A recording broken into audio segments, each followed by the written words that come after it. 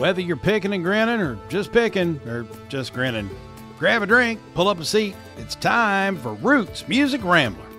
Turn it up.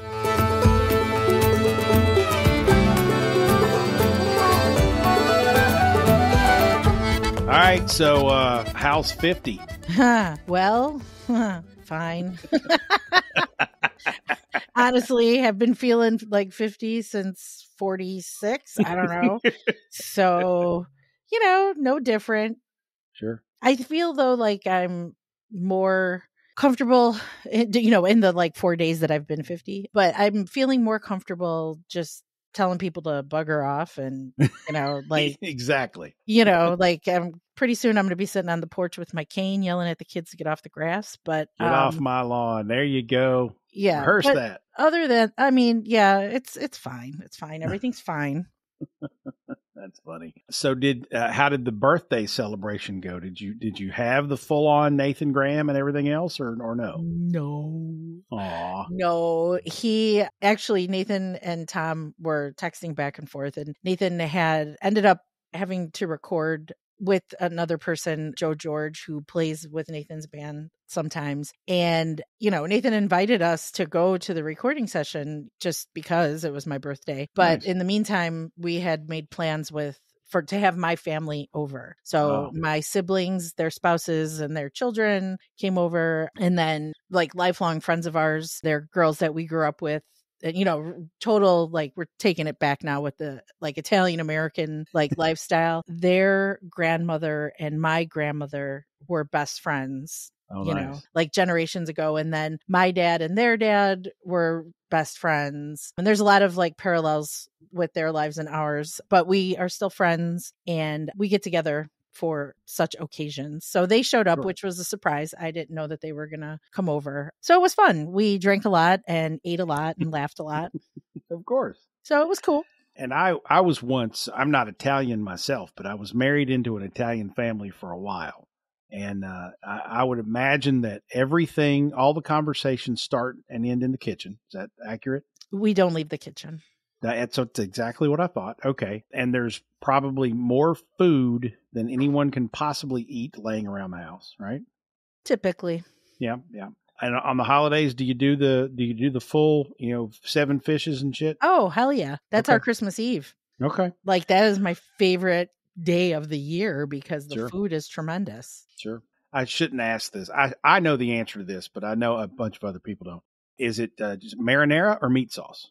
So, first of all, we don't call it sauce, it's gravy. Oh. Um that's a very Italian American thing. It's very regional though, like from different parts of Italy. So, my mom's family comes from around Naples. My dad's family comes from Calabria. But both families, my mom's family and my dad's family, always called it gravy. Gravy. And Okay. I know this debate ruffles a lot of feathers. It's kind of like the does Wilco suck debate, right? It, it can it can get that intense, but a lot of people do. You know, people feel very strongly on both sides. Sure. We just call it gravy because that's what it was always called. I mean, I don't care. You want to call it sauce? Call it sauce. What do I care? Okay. So m- when my mom makes Sunday gravy, she cooks it like she puts the the meat in the gravy, but she doesn't. It's not like a bolognese, right? It's just more for flavor, and then to serve the pasta with with the gravy on it, you know, it, there's not like pieces of meat in it. It's so it's kind of like um as we say marinade, but um not officially, not technically, because there is some meats Okay. mixed in there. Yeah. All right. So I I make my own spaghetti sauce, if you want to want to call it that. But I love basically meat sauce. I love marinara with you know ground beef and sausage and other things in it. Yeah. So it's not pure Italian. I know it's not. I don't apologize for it because it's what I like and that's fine. And I don't I'm not obnoxious about it if I'm not going to claim it to be Italian. But that's how I make spaghetti sauce. is I put meat in it and a few other things. It's yummy and I like it. If it tastes good, yeah. Now, my in law, my former in laws, my former mother in law, uh, rest in peace, Judy. She made good old fashioned traditional meatballs oh yeah. to go with the marinara sauce that she made on on pasta, and it's probably my son's favorite meal, uh, and should be. It's his grandmother's, right? Sure. So he should like that. And I loved it too. Her spaghetti and meatballs were fantastic. I loved them, and I would probably pick them over my own uh, meat sauce any Sure. day of the week. But you know, pure Italian. I'll tell you this, this. Let me let me tell you this story. This is funny. My mother used to do this all the time, which always drove me crazy. My mother is also not Italian, Okay. she grew up with one like one of her best friends was Italian, like parents or grandparents off the boat Italian, right? And every time we would eat at either my in-laws' house or some other Italian family or even an Italian restaurant, my mother made it a point to say, real Italians eat their spaghetti like this. And she would twirl the pasta on her fork while holding the pasta with the spoon, The spoon, yeah. which I know some people do that, but not all people do that. And I always thought it was really obnoxious of my mother to do that in front of other Italians. Like, what are you doing? Like, either they know that Right. and they think you're an idiot, or they think you're an idiot. so what are you doing? But you know, that's my mom. She just interjects herself sometimes. well, fine, as moms do. as moms do. Anyway, welcome to Roots Music Rambler. She's Frank, Peace falls. and we're rambling on through the stories behind the music we love. And today on the show, Jason got to spend some time with one of his favorite local bands last week who are back after a long layoff. So Yeah. fill us in. Yeah, so the name of the band is Digby, and the people around Louisville who have been around Louisville for a while know who they are. I think it's probably unfair to call them a Louisville bar band, but that's kind of what they've been. They had some modest success back in the uh, late 90s and 2000s. They I think some of their songs were picked up in TV and movies and I think they had one like indie hit that made a chart somewhere along the way, but they never really made it out of playing mo- mostly in this region. They've been labeled a power pop band, Oh. but they evolved from a band called Hundred Acre Wood, which was much more folksy acoustic pop. So they have a little bit of that Americana flavor to them and in their DNA. And they have not had an album, an LP come out since 2007. And so Oh. for the first time in 17 years, and actually they haven't played since 2000, I think 13 or 14. Oh, wow. Um, and so Rich, the lead guitarist, kind of got burnt out on the music business and you know the the grind of it all. And he had two kids and a job, and so he just kind of put down the guitar and walked away from it. And the guys kind of cajoled him, and his wife kind of you know poked him a little bit, and they got him you know to come come back and start playing again. Well, Paul, the lead singer. As they got back and started playing just some old stuff to just, you know, get together as a group and be friends again. It wasn't you know, anything abnormal. But Paul, you know, kind of slyly said, Well, I've got some new material, so maybe we should try this. And the magic started happening again. And uh, Digby now is back together. They have an album coming out March 1st. Ooh. We are actually going to, they had their, their first single actually debuted on WFPK, the local public music station here in town last week. And we actually have the exclusive we get to play three other songs on the show today, just clips. We're not going to play the whole thing because we want you to go get the album, but we get to debut three cuts from that album on the show today. So nobody Nice. else has heard them except us. yeah. So very cool. So yeah. Nice. Uh, but anyway, and I'll, I'll admit, I have to kind of give you a forewarning going into this interview. I am a an absolute Digby fanboy. Mhm. I was first introduced to them by my ex wife, who a, a friend of a friend was connected with the band, and so we would go watch them play. Well, I at that point in my life, I was in my mid twenties. I had never hung out with bands before. I didn't know what that lifestyle was like. I would see a few playing in bars every now and then, and I'd go to concerts, but I had no exposure to bands. Digby was the first band where I went to their show, and then afterwards we were all out on the patio of the bar smoking and drinking and telling lies like you do. And I was hanging out with the band, and I did not You're like, "Look at separate. me." yeah, I thought I was cool. I wasn't, but I thought I was. And so I did not separate Digby in my mind from Van Halen or Aerosmith or Green Day or anybody else I listened to at the time. I just thought they were a band and they were cool, and I knew a couple of them Nice. kind of tangentially. So I am a admitted Digby fanboy.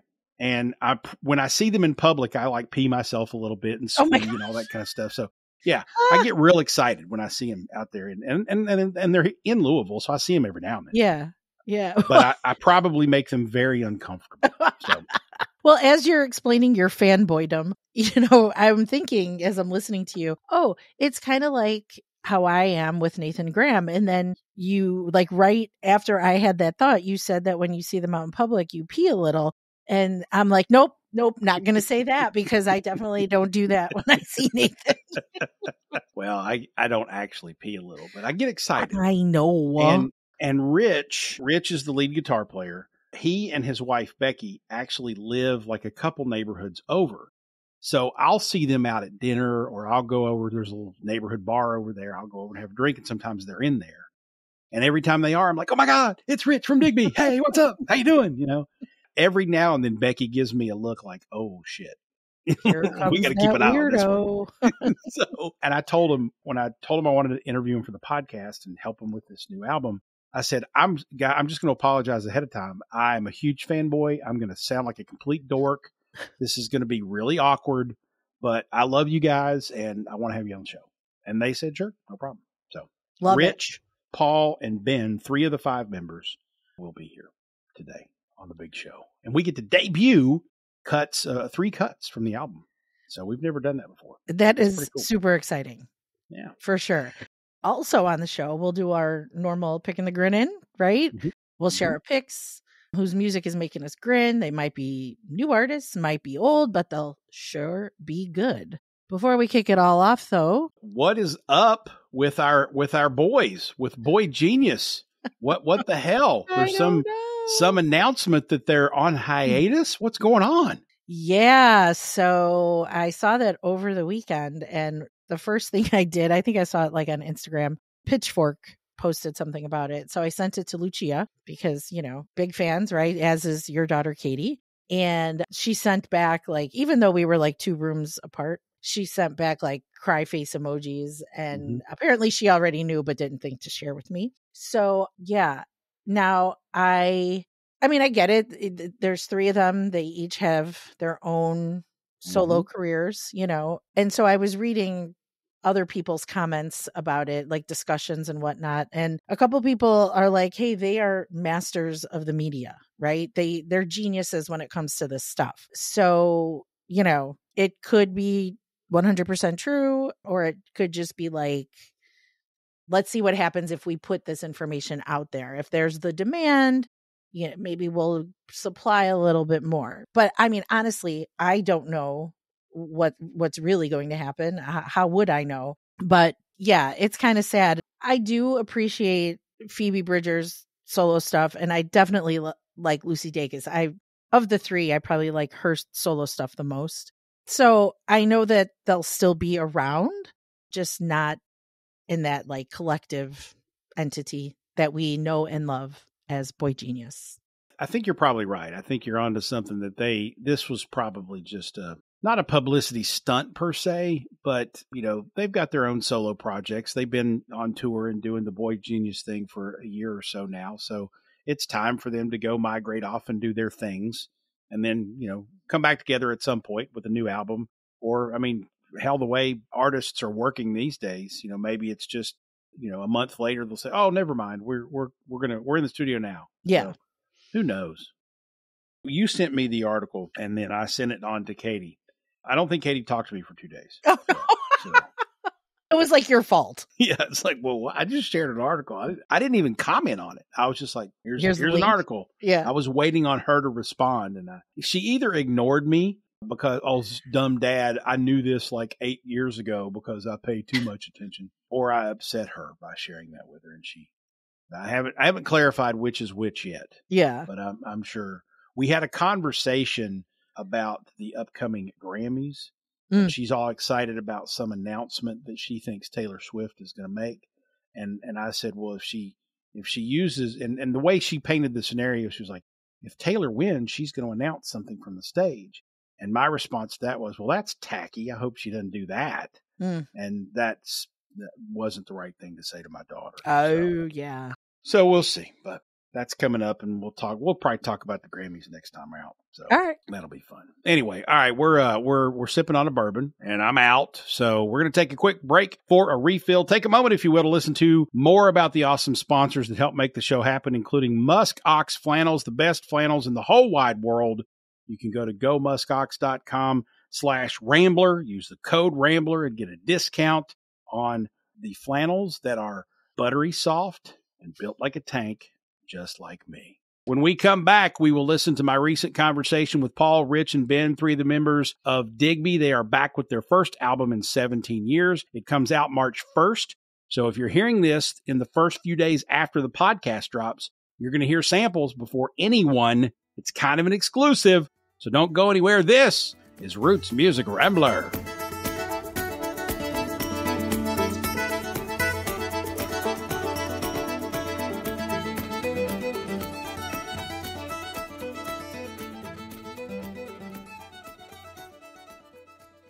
Hey, Ramblers, I have experienced a revolution in sound in my house, and you can too. The revolution is driven by Sonos. The Sonos wireless music system lets you play any song in any room, control it all with the Sonos app on your phone or tablet. Sonos has all the connections to give you millions of songs and stations, including connecting to your iTunes, your Spotify, Pandora, and more.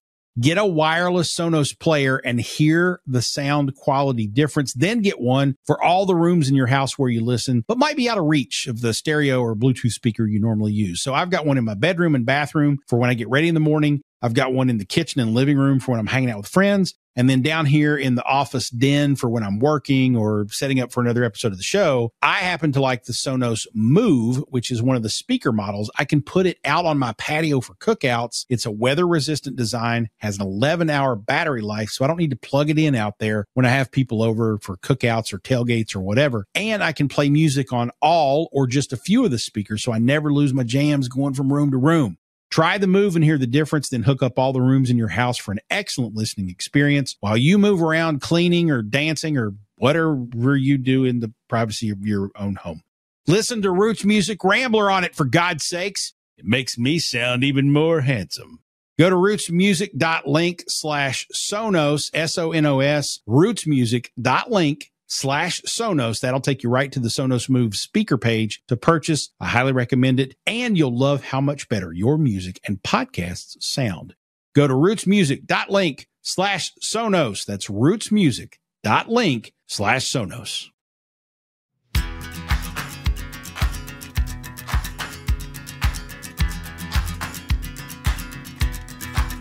We find ourselves even from the brackish depths of its tributaries. But love is love, and life is messy that way.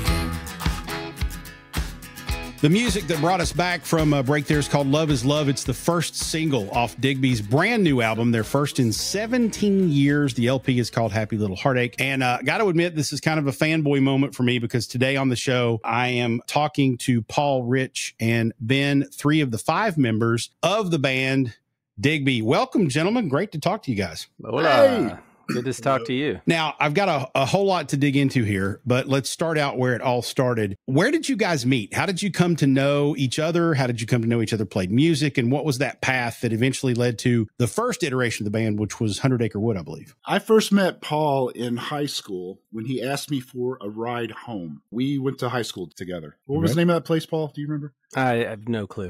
Yeah, but it was in Clarksville, in, Indiana. And Mark Book, who's the drummer, who's who's not here, he was in our class, and Paul was in our class, or my class, or our class. And he came up to me after school and asked for a ride home because I actually had a car and I was flaunting my keys. Look, I have a car. And um, I don't remember what happened. I don't know if we like made out on that trip or on the next one, but Yeah. something happened, you know. I, I'm a I'm definitely a two date minimum. So and then the other piece of that is that Rich's parents and my parents went to the same church. And that's how he and I knew each other, but we didn't officially meet that way. Uh, it was just sort of, you know, coincidental. Um, it wasn't until years later, as Ben and I were forming the original group, uh, Hundred Acre Wood, that trying to think of which came first. Was it John or was it Rich? It was John, wasn't it? Well, well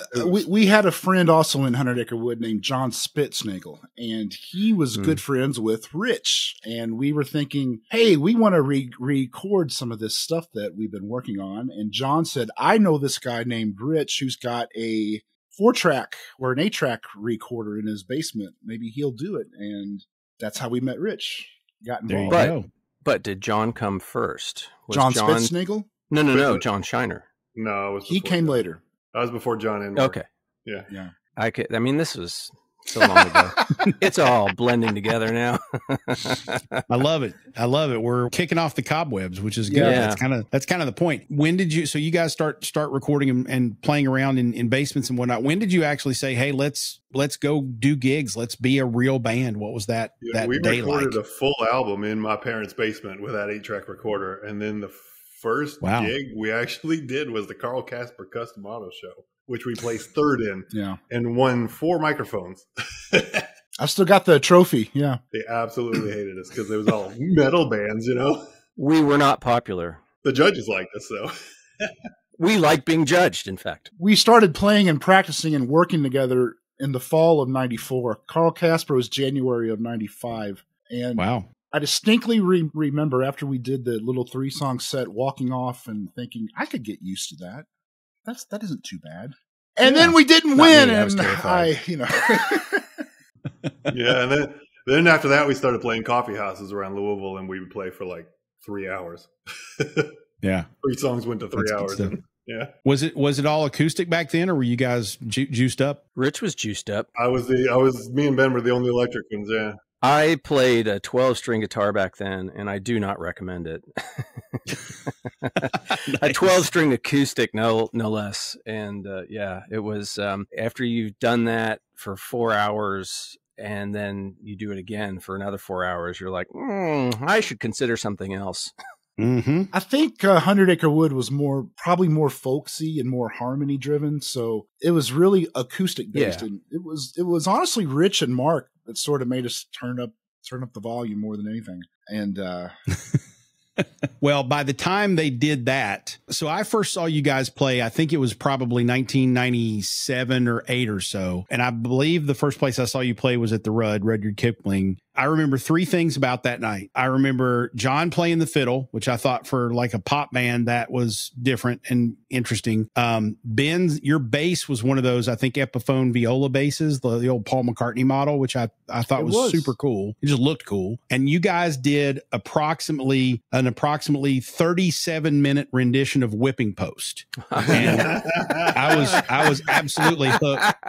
Sorry about that. That's awesome. No, it was it was great because I was literally I had I had just flown in. I was I worked in New York at the time and I'd come back to visit my girlfriend who I eventually married and she came out to see you guys. I came with her. I was dead tired. I was about to fall asleep. And then you guys launched into Whipping Post. I was like, okay, I could get into this. And I just sat there going, Jesus, these guys can play. And so, frankly, covering the Allman Brothers is enough to qualify you for an interview on this show because we typically talk about Americana, roots music, and whatnot, which I think is, as you were saying, is probably a little bit more into the Hundred Acre Wood sound. But I also know that, you know, you've got some interesting, you know, influences that come out in your music. So, I'd love to know what other bands and sounds you guys are say in your DNA because I can pick out some funk, I can pick out some blues and and folk, and then of course there's the whole Shiner phase with the fiddle that that added a neat dimension to the band's sound, but that's been gone for a while. What influences are mixed in there for for each of you? Well, I was going to say uh, re- regarding John and the fiddle. We first got John in whenever we were trying to make those first recordings in uh, Rich's basement because we knew a guy who played uh, cello. And we wanted a guy to come in and put down a cello track. And this guy was like, "Hey, I have a friend who plays violin. Do you want Do you want him to come too?" And we were like, "Yeah, sure, why not?" And what happened was the cello guy never showed up, but John, the violin player, did and it was just supposed to be for one song and he never left so the and i remember thinking that the violin was so neat to have in a pseudo rock setting and i i i always was very i thought if i had been somebody coming in to to see us i would have really thought that that was interesting and wanted to see how do you put a violin into a 30 minute rendition of uh, Whipping Post. It, it, those were great, and I I do miss that he doesn't bring out the violin anymore because he could, he totally could, but he just he's So, like a lot of the influences back then were pretty loose, as we kind of said. They, you know, it was very folk oriented back then. So, you know, Crosby, Stills, and Nash were one of my influences in terms of writing. And also, our mentors at the time were some members of a local band back then called Zen Penguin, which I don't know if you remember them or not, but it was they were they were our age, the, the age we are today back then. Yeah, and uh, Okay. you know they were pretty influential. It was very you know folksy singer songwriter harmony driven acoustic. So that was a that was a huge influence on us back then. Now i could say going forward it, it that evolved into us finding our own voice that was more brit rock oriented but we still we never got away from those kinds of, of folky roots. And so we have a very eclectic collection of of influences from the the beatles to you know i mean today it's just all over the map. And and there are still some like in this new record we still have some uh folksy i don't i shouldn't say folksy but americana oriented uh songs. There's a couple of them there's some that are kind of old Digby. There's some that are brand new Digby that's, you know, we branch into a, a different kind of sound that we've never really done before. Or maybe we're just doing it better. I don't know. yeah. So it's it's Could all be. over the map. Today I would say I'm a huge Robyn Hitchcock fan. I love JD McPherson as an influence and just as um, a producer of of music. Like the way that he makes records today is amazing and there are very few people doing it like that. Nice. So it's pretty cool. And Rich, I would I would assume that you you bring a little bit more of the kind of blues guitar to the to the group. Yeah, back back in the old days when we were technically like a folk rock band, it was when I joined the band. It was my my unspoken mission to turn them into a blues band, and I failed horribly at that. at that. I don't know about that. But uh, uh, I was trying my best. Yeah, I mean, back then, I mean, I was, I was all about Stevie Ray Vaughan, Jimi Hendrix, and then, like Paul said, you know, we sort of more we you know like discovered later British bands later for the time, like Blur, Oasis, things like that, that would sort of caught our attention with you know nice rock guitars with melody behind it. But also, a lot of that stuff still had some like English folk Sure. base to it, as far as like Blur's concerned, and like Robyn Hitchcock. You, there's elements of like Oh, British folk. I love British folk. that are that are in, inside that music. That's sort of, I think, influences probably both Yeah. today. It's good stuff. Yeah. Ben, what about you? How did how did your music DNA form? I started taking. I, I actually I needed two extra credits in uh, college one year to make a full load, and um, I came late to guitar, and I always wanted to do to play guitar, and I just never got it got around to it. And there was a guitar class that was exactly two credits, which would give me the what I uh, basically needed. So I asked the guy, you know, everybody I know plays guitar. Could you teach me how to play bass? Because I was thinking that if I if I played bass, then people would want to play with with me. It was totally selfish. And the guy was like, "Yeah, sure, I can do that." So he kind of got me got me uh, started on that. And then, not two three months after that, Paul called me and said, "Hey, we uh, heard you're playing bass. Do you want to come and sing with me and a friend of mine?" And I was so excited and scared because I was literally a beginner and I wanted to try to impress them enough to make them want to keep having me. So I remember I always brought a little tape re- recorder and whenever we would get together and practice, I would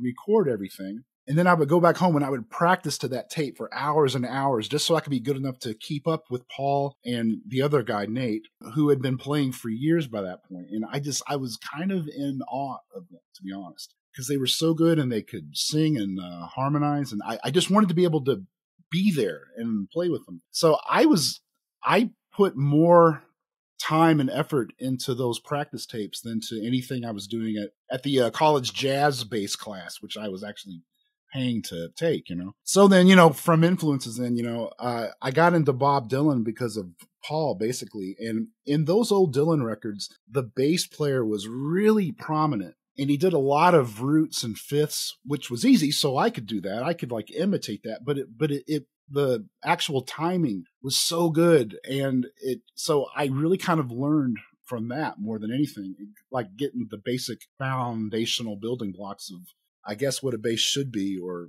try to be. And in terms of influences, also, I gotta say Rich, believe it or not, because I'd never listened to blues at all. And when we first met Rich, that's all he talked about. That's all he he was blues. And I started to learn these blues lines so I could play with him and try to keep up with uh, him. And I it really I I gotta say my biggest inf- influences were the other guys in the uh, band. I mean, Mark opened me up to so many like rock concepts I I had always kind of heard but never but never really like focused on.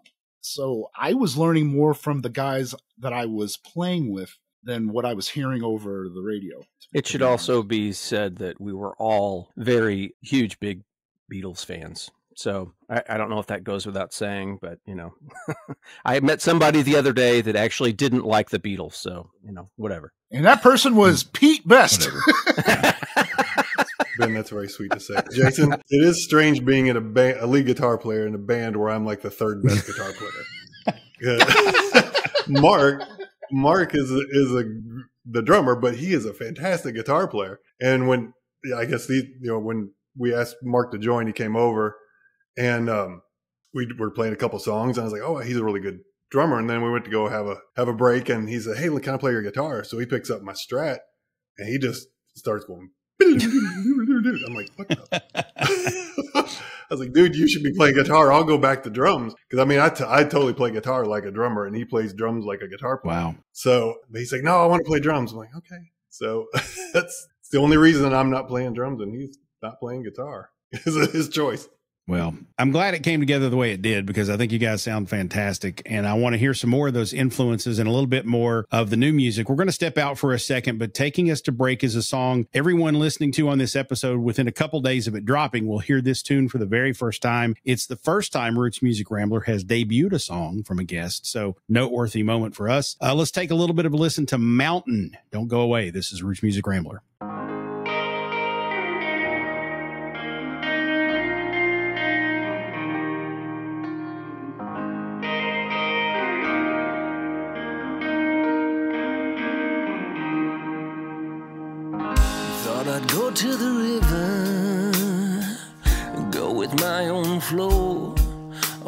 Tired of the wind reminding me of what I owe.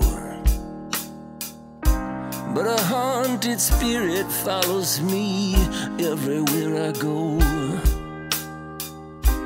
There's more to this river than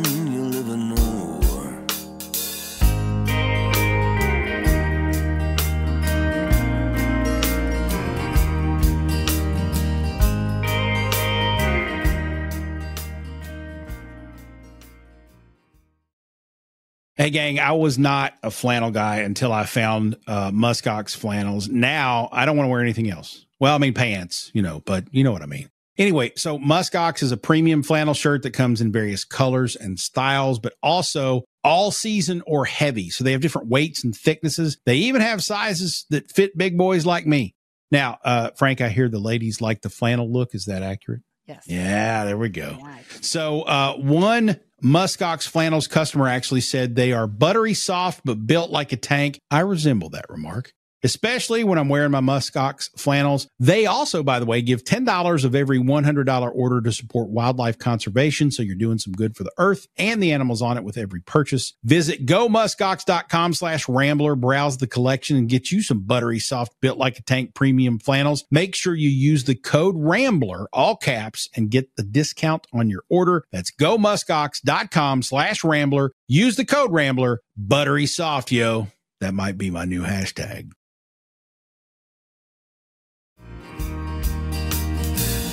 Thought I'd become a mountain and cover me with snow.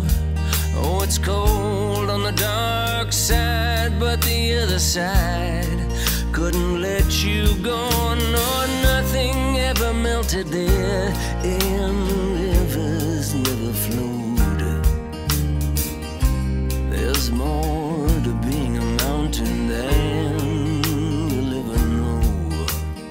Little more of Mountain there from Digby. It's off their new album, Happy Little Heartbreak, due out March 1st. The Love is Love single is already out there for folks to feast on. You can find them probably all over the interwebs, but digbytheband.com is a great place to go. Ordered my t shirt uh, the other day, so got that on the way. So I'll be wearing that in a future episode as well. Before I get into the album, though, let me ask about that song Mountain. It's certainly more of what I'd call an Americana sound. And Paul, you kind of referred to some of the newer music is a little bit more of that sort of Americana flavor. It seems to bring in some of that sort of folk, even slightly country sounds to it. I wonder if that song was kind of written with that in mind, or was that just how the arrangement came together? Well, interestingly, all of these songs, well, no, probably 90% of the songs on this record were written in an acoustic frame. And so it kind of has that was its origin was in an Americana flavor. And we all kind of came together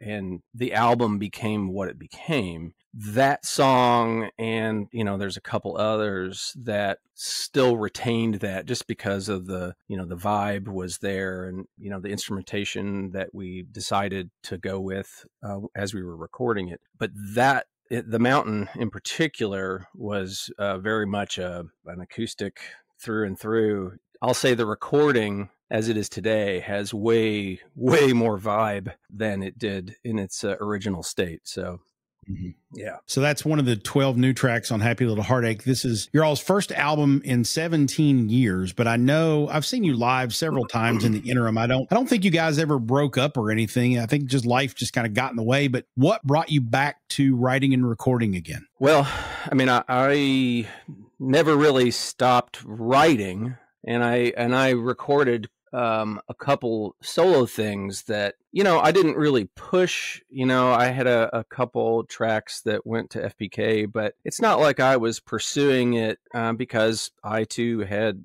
life happening. So it was just really to just keep the chops up. But us coming together as a group. Let's let Rich tell that tale. okay. okay. Yeah. So, Is that okay, Rich? Yeah, that's fine. That's fine. Yeah. The last the last gig we played was summer of 2013, I think it was. And pretty much after that wow. gig, I put the guitar down and left it down for a long time. For a long time, and it was almost to the point. I think I was just jaded. Got jaded by the music industry I mean, we've been doing it for a long time and doing it a lot for a long time. There's a lot of travel involved and just gone. And by 2013, I had two kids. I don't know how Mark was doing all the traveling and all that stuff, and he had little kids, and you know they were grown up now. but but by then, I had two kids, and I was just worn out and tired of it. Put them down, and it was to the point where I was getting ready to sell all my gear. And for a year, we never broke up, but uh, we would get together every couple months and have dinner and drinks and just you know talk and have fun because I mean, beyond music, we're probably fr- friends more than anything else. Just because we're all we're all seem to be like one mind for the most part. Maybe not Ben, but okay. But uh so yeah, I put it down and we'd get together and I wouldn't call it harassment, but Paul especially would would needle me. Say, come on, come on, come on, let's let's play it. I'm like, nah, man, let's let's just let's just have a beer and go there. And then uh everybody met at a local restaurant on uh, my birthday of 2022 i guess it was? 20 no yeah 22 so in june of 2022 and we're all sitting outside and paul's sitting next to him and he, he's saying come on man let's just play. And i'm like my wife has been twisting my arms like just get back into it. And then ben's needling me and then mark's there and they're needling me and then out of nowhere from behind me this lady that used to work for our record label for years just haven't seen her in probably 15 years or more, just walks up behind me and says hi. I'm like, okay, this, I don't really believe in signs, but like if there is one, I was like, this, this is one. I was like, all right, let's do it. so when we, when we got back together, it wasn't really wow with the mind of making a new record. It was just playing for the most part. And so we went over to Paul's house and played a couple of the old songs. And while we're sitting there, he goes, by the way, I have some new ones. Let's try these. I'm like, okay, let's, let's do, it. let's try it, man and then he turned the microphone on, and here we are. wow. So, Ben, how was kicking off the dust? I had like four or five basses, and none of them really work anymore. So, uh, I.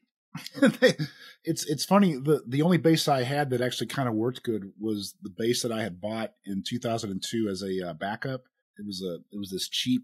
It was like the cheapest bass that I could find, you know. And uh but I've been kind of like fiddling on and off. But I I always kind of wanted to get back to play with a band because I miss being in a in a band. I I didn't like just kind of being on on my own, especially as a bass player. You kind of want to have a drummer and somebody else, but I could never really find anybody. And I would ask, you know, and you know there was a lot of "it's not you, it's uh, me" type of you know things, and it just it it it things would just never work out. So I think Digby spoiled me in a weird way.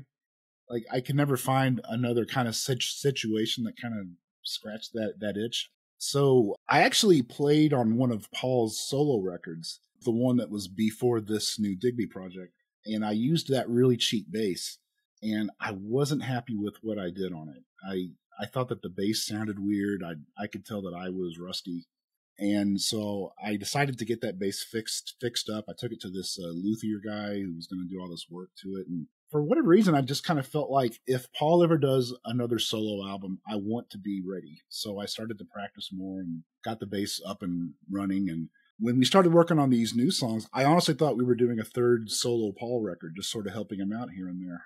And it kind of became a Digby project. I didn't realize that it was happening. It was one of those slow boil things, you know, where you're the frog in the boiling water. I was the frog. Yeah. I like, hey, Digby's back suddenly. when did that happen? but I, I was Rich is shocked, here, Yeah, wow. and so like whenever whenever Rich had, had told me that he was thinking about selling all of his gu- guitars, I I was really shocked. But I kind of understood in a weird way because the funniest thing is for this project, when this project got going, he actually bought a new guitar.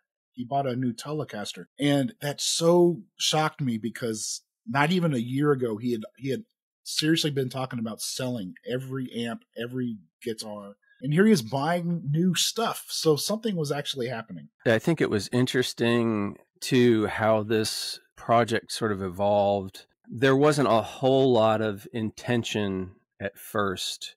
It was really about stretching our legs, you know, like g- getting into it again and it being stress free. I mean, we didn't have a scenario anymore where we were having to do, you know, out of town gigs and we weren't trying to make money, you know, mm-hmm. like if anybody wants to eat three square meals a day, don't become a musician. But we weren't in that scenario anymore. So there was a lot of freedom to just be relaxed.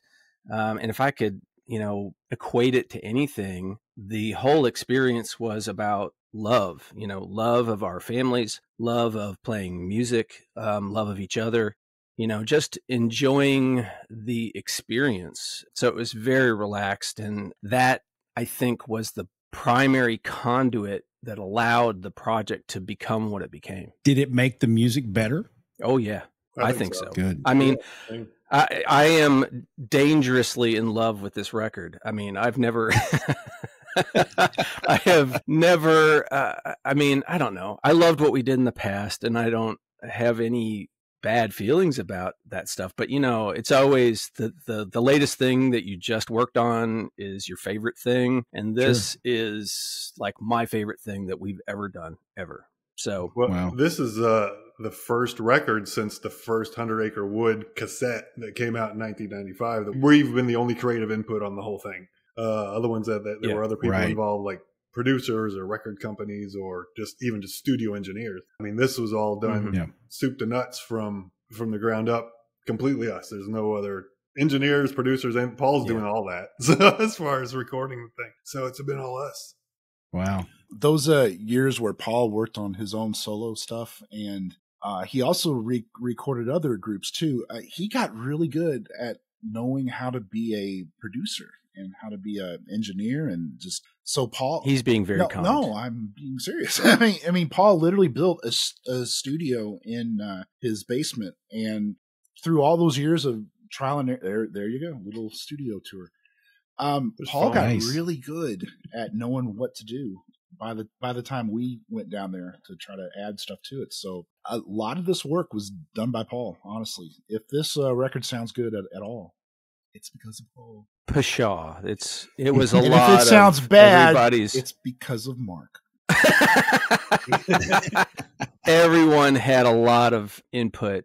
You know, I my goal at the beginning of this was to not be a dictator, you know, just because I was pressing buttons. It needed to be everybody needed to have input and equal input into how this evolved and and become what it became. And that and that kind of again, that kind of freedom that we had, there was no pressure, um, really made for a, a wonderful experience. Nice.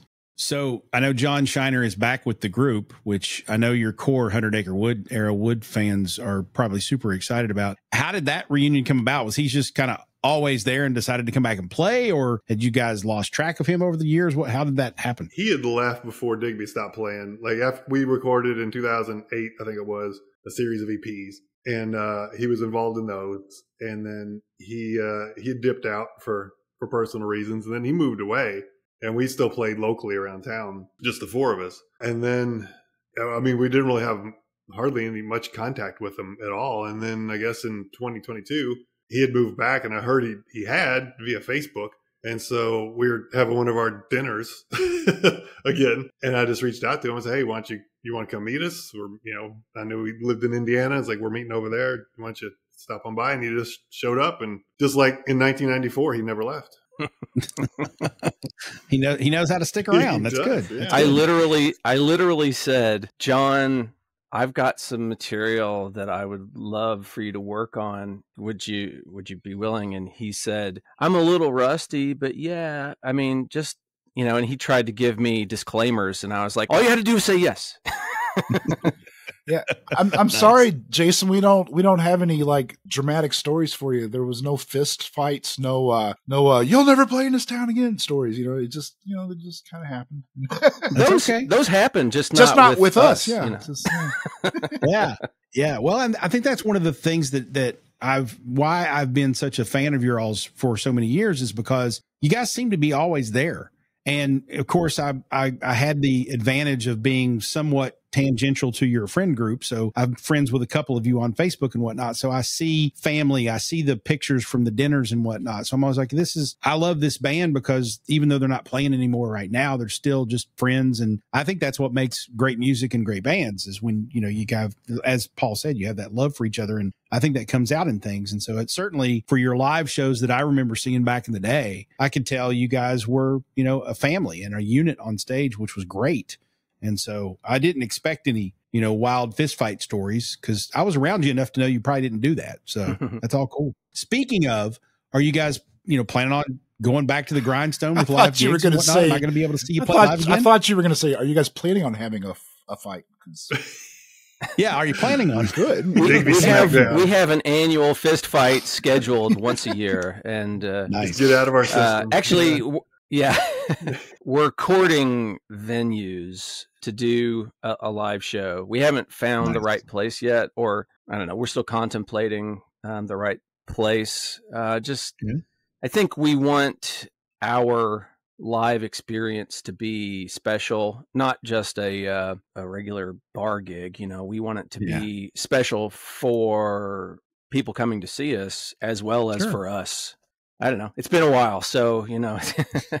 so we, so we definitely want to make it special. But there's pro, you know, we're gonna do other things. it would um, be nice to have an know, all ages show because you know there are kids now. We'd kind of like to see what Right. the old man is doing and stuff like that. That's true. Well, I, for one, will certainly be there.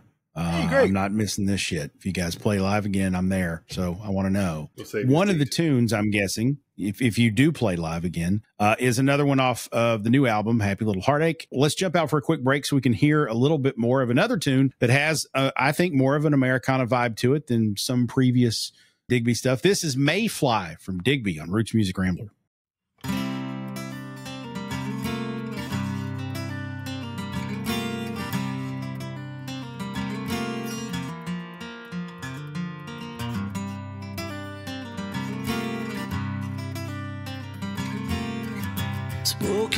For in the month of May, but you're breaking out on another day.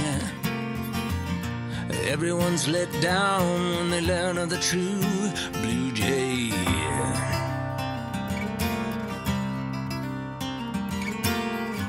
Ancient flight in the common era. In your wig and your wings, posing for the camera. Newspapers and photographs and scraps of ephemera.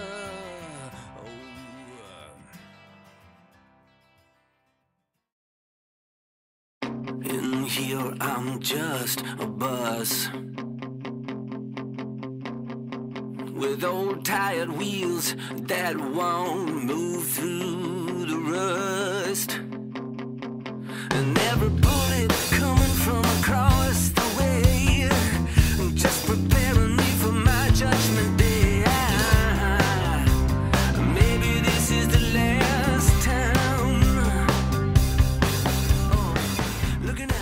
last time. Another exclusive debut clip here on Roots Music Rambler from Digby. Paul, Rich, and Ben are here with us. We've been talking about their first album in 17 years. It's called Happy Little Heartbreak. Comes out March 1st. And what I've heard of it is a very familiar sound from a band I've loved and followed for a long damn time. Paul, what if anything in the album or the sound or the vibe of the band is different in 2024 than the heyday years, maybe the early 2000s. You touched on it a little bit, but I'd love to have you specifically tell us what's what's really different this time around. Ooh, wow.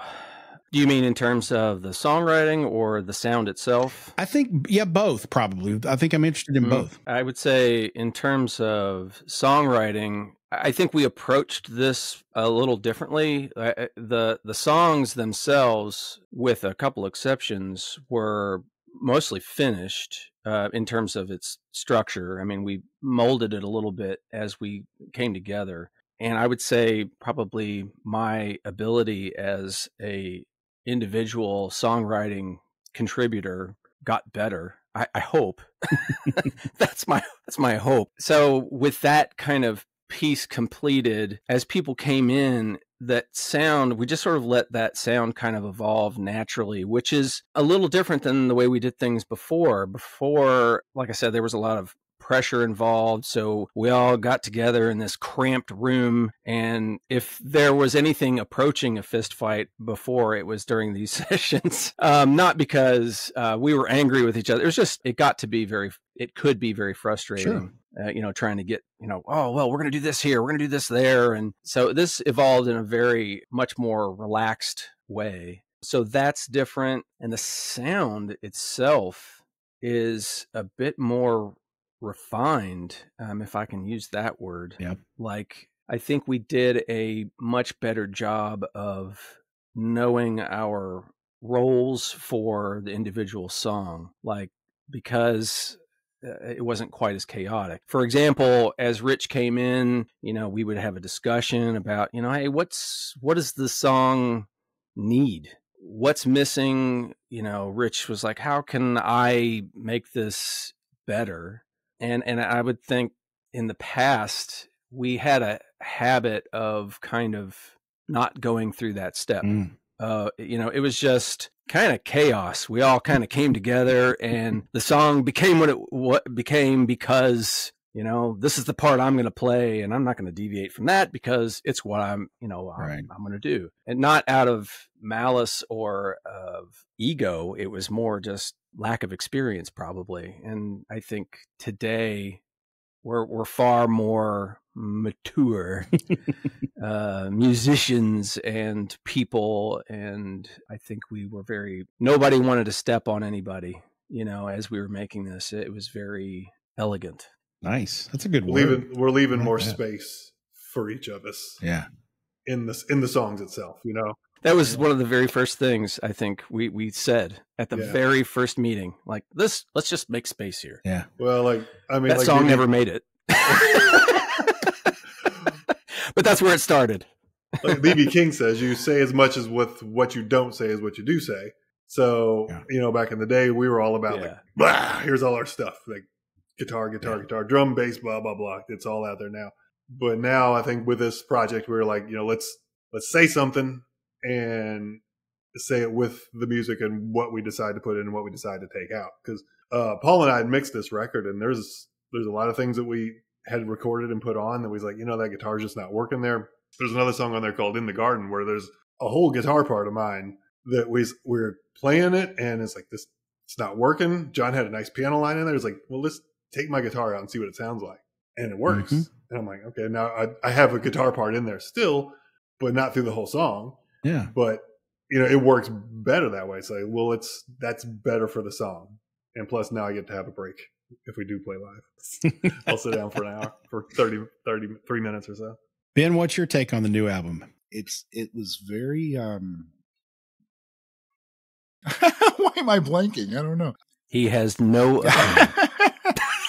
that that that first time that we um that that we got there and we kind of played together for the very first time, we were we were going over old Digby songs.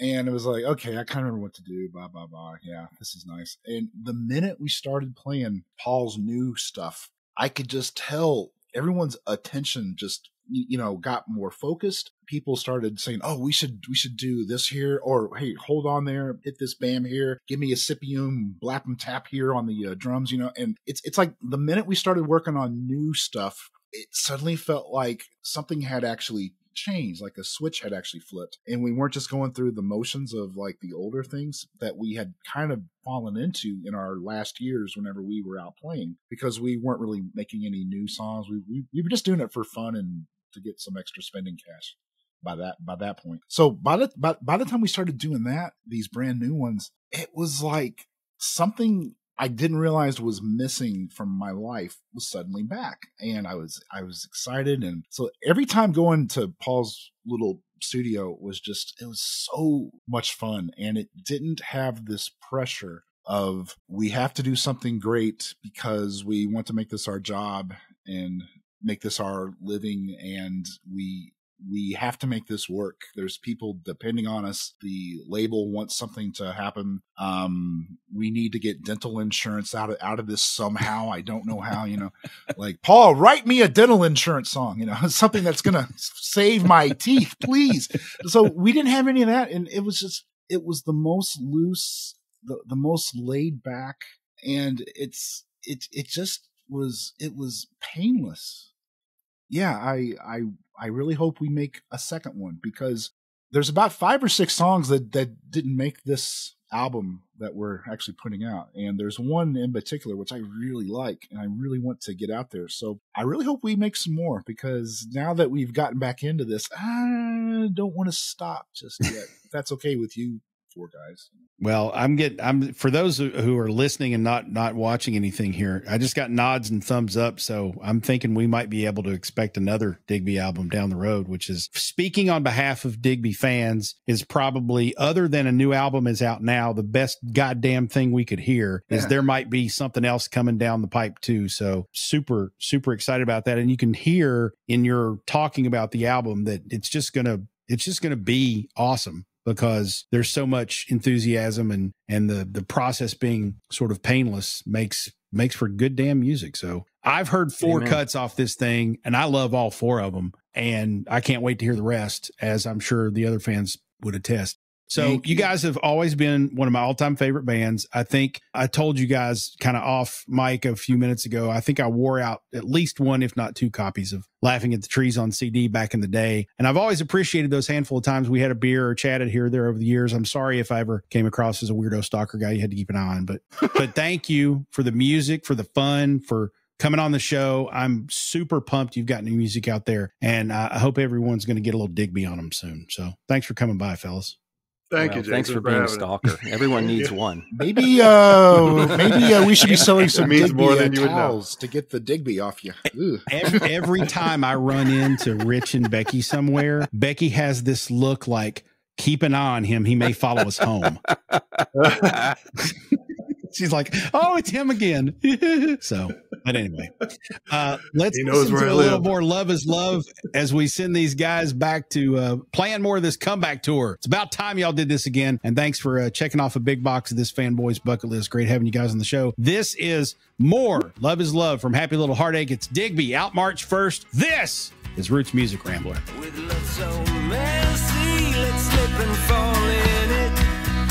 Love's like a rattlesnake, let's go and get bit. If you put the kettle on, I'll grab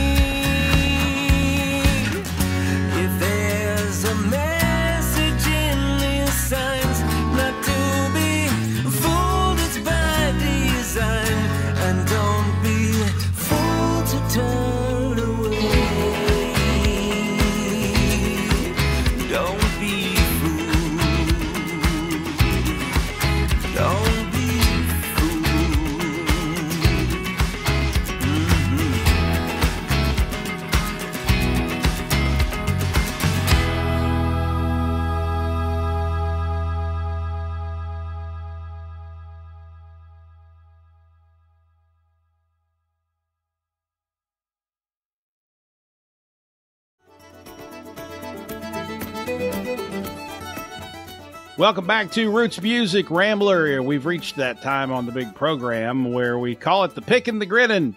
Uh, which artists do we pick that are making us grin this week, this month, whatever? Might be somebody new that you've never heard of, and we're recommending new music to you. Might be something old that we like that we're kind of reminding you of, or sending you to for the first time, which we have a tendency to do sometimes too. And so I'm going to give Frank a break this time, and I'm going to go first. I normally bring. I normally throw her under the bus right out of the gate. I'm gonna give her a second to think of somebody. But I actually, I'm not sure if the the 60 second album review uh, on our social channels has dropped yet on this one. By the time you hear this, uh, so I don't mean to spoil it for everyone. But I've been listening to Miles Miller's new album, and Miles Miller, if you don't know who that is, he's the drummer for Sturgill Simpson.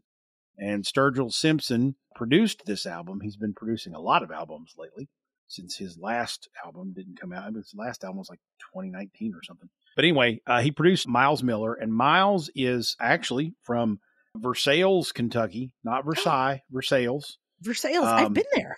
Yeah, he's he was Woodford County High School, so it's just a little south and a little uh, east uh, or west rather of Lexington, Kentucky, and he was brilliant in his arrangements of some of Sturgill's music. He was you know instrumental in Sturgill's live shows and whatnot. And if you ever if you see Sturgill play live and Miles is the drummer, the, the only time I saw Sturgill play live, Sturgill has a tendency to turn around and like lock eyes with Miles and they like jam and there's nobody else in the room except those two guys, uh, which I thought was a little weird, but at the same time, I can, see why because they have this like musical connection or whatever. Anyway, so Miles Miller's new album is actually it's very good. It's very good music. It's very good. The, the arrangements are great. It's a really good, just kind of country Americana album. The songs are good. He's got a, a very good voice which he's always sung kind of backup and harmonies with Sturgill. So now his voice is coming out, which I'm I'm really happy about. It sounds really good. The one thing I will say though, and I say this in the 60 second album review too, if I have a criticism, it's not much of one because it's a very good album and I recommend uh, you go check it out. Uh, but if I have a criticism at all, it's that the lyrics come across to me like someone's lyrics from their first album. And and what I mean by that is they seem pretty predictable, like the rhymes are kind of predictable and Okay. and you're it's it it seems a little I don't want to say immature, that's not Yeah. the right word, but it's not fully baked, if you know what I mean, right? Polished. He he's not an experienced lyricist yet Gotcha. but there's a ton of potential. Like I I heard this album and immediately was like, I can't wait till his second or third album nice. because he's going to be really really good. Yeah. And he's he's good. I mean, he's good now. Don't get me wrong, but I can see a lot of potential in him. The songs are are well written. The lyrics again a little I don't it's amateur's not the right word. Immature is not the right word, but they're not complex. Like there's Gotcha. not those typical kind of clever turns of phrases in country songs that make you go, "Oh, okay, that's a clever turn of phrase." Yeah. Um, there's there's not a lot of that, but that was the only thing that I thought that was even mildly to the negative when I was listening to this album. I really enjoyed it. I thought it was really good. I think I put five cuts on my playlist, which is strong, especially for a you know first time album from somebody. So Miles Miller, check that out. I think the name of the album is just Miles Miller. I'll, I'll look that up while while you're doing to make sure I'm I'm not screwing that up. But Miles Miller. No, the name of the album is Solid Gold. oh, So the name of the album is Solid Gold. Miles Miller, definitely uh, my pick. It's making me grin this week. So, Francesca, you're up. What do you very got? nice. So nothing really new to me, but I was getting all like weepy the last couple of weeks because it's been five years. I realized that five years ago, just like at the end of January, I was the first time I traveled to Dublin, Ireland to attend uh, Tradfest. It's a music festival, and a lot of it is traditional Irish music, but there are acts from pretty much all over that show up in Dublin to perform at this festival. And the first time I went was in 2019. And man, that was the time of my life. And I was introduced to so much new music and that I still love. And then, you know, rediscovered some old favorites. And actually, I met a friend who I still keep in touch with, who is a musician in Dublin. Actually, we connected via Twitter before I even went out to Dublin and ended up meeting him. His name's Billy Tracy. Ended up meeting him when I was in Dublin and hanging out with him and his bandmates. And it was just the best time ever. Actually, Billy was the very first, my very first podcast guest on the first version of Roots Music Rambler. Yeah. So I was just, you know, like damn Facebook and Instagram, right? With all these like memories that pop up and stuff. And so I was reminded of that time in Dublin. And then, not that long ago, I was driving in the car with my son, and on Outlaw Country, one of my favorite like Irish songs comes on, and it's Fisherman's Blues by the Waterboys. Okay. And uh, Billy and his band play. Well, they used to. I don't know if they do, but they they would play it a lot, and it just made me so emotional. You know, it was was like, oh my gosh. I mean, it's a great song anyway, but, you know, having heard it in a very intimate setting at a small pub in Dublin with, you know, friends just doing what they love to do. Yeah, it really brought me back. So the Waterboys and then Billy Tracy and Carlos Nunez, which, you know what? I got to send his people an email because he would be it would be just fantastic to talk to him and talk about yeah. his craft. He plays the gaita, which is like a Spanish bagpipe and I'm probably not describing that correctly. Spanish mm. bagpipes. We'll have to edit that out. So it's like Spanish bagpipes. And okay. I saw him the first time I went to Tradfest, and it is up there as one of the best live performances I've ever seen. So yeah, so that's my pick in the grinning. So I recommend checking out any of those musicians bands that I've mentioned. That's a great one. I like that a lot. I've been to London a couple of times. I've never been to Ireland. So that's on a bucket list for me. I also need to go up into the north of England as well, which which Karen's a big like Morrissey Smith's Cure. Oh, that's right. Yeah. Fan. So I'm sure if we ever go over there together, she's dragging me up through all that stuff, which I, I don't mind. I think that'd be fantastic. As she should. That. Yeah, absolutely. I've told her before when it comes to they call them boot gazers uh, when they, the the, the boot ga- boot gazing music that old. Yeah you know, the goth where the kids wear the boots and they stare at their boots the whole time while the music's playing. So the boot gazer phase, I never, I never got into those bands. I didn't dislike them, but I just did. I never got into them. Yeah. And and so, but she loves them. So I haven't quite gone there yet. I'm still going through my Ryan Adams, catching up with her on Ryan mm-hmm. Adams. But I'm eventually going to get into some Smiths and Morrisseys and Cures and things like that, and try to learned myself some stuff about them there Brits up there in the bootgazing phase. So I'm looking forward to that. Oh well, that sounds like it's going to be a lot of fun. well, yeah. the only thing I really know about that music is it sounds real depressing. So well, uh you know, and then in all fairness, people say the same thing about boygenius.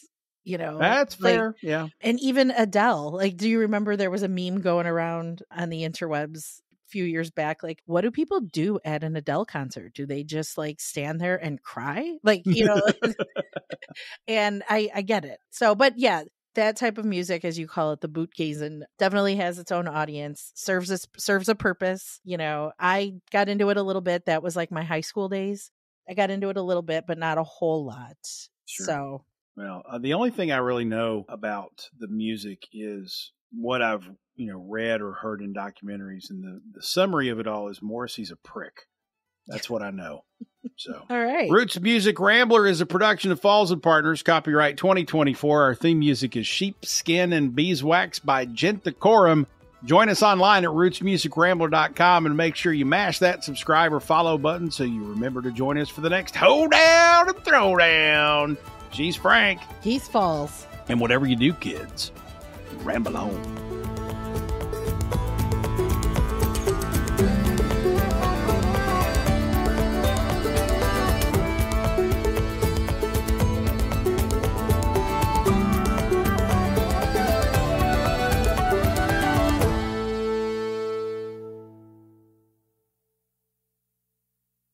By the way, you guys will appreciate this. And again, I'm a fucking admitted fanboy, so forgive me. But I walked out this morning. I was at my girlfriend's house this morning. And I walked out and there was frost on the windshield, and I immediately went on a cold and frosty morning. Let's go. Ah, wow. Man, I just jumped right into it. So yeah, Man. Sorry. I wore. I don't I, even think I think I wore out. I think I wore out two laughing at the trees CDs. Like I played them so Oh. much in my car back then that they didn't work anymore. There's, Thank you. You know No, what's funny awesome. about about that song, the one that, that you that you just referenced, the on the cold and frosty morning. Rich just recently found the quote unquote the quote un, unquote video that we shot for that. Oh It was- wow! It was stuck on the back of a, a VHS tape, and uh, our friend Bill uh, Green had shot it, and we were in a pedal cart basically, and the camera was just on us driving this pedal cart, and we had forgot all about it. And I had this big box of uh, videotapes from like live stuff, and I didn't know Yeah. how to transfer it over, and I was sick of tripping over it, and I gave it to Rich, who had the actual plugs that you need to get the video off the videotape and put on the Yep. and so he was going through it and he uh, found that video and he put it on do we have an official youtube channel is is that where it is yeah, it's uh, YouTube Digby the band as well. Yeah. okay so it's got this grainy video tape texture to it so it's not as clear as it probably was 40 50 50 years ago but uh, that was a neat little uh, find because i completely forgot for, forgot about it and uh, That's fun. That's good stuff. Yeah. For some reason, I slap Rich in the face at the very end, and I don't remember why. So that could be the closest to an punched a argument lot that we music ever had caught on caught on film. So there you go. Your annual fist fight. I like it.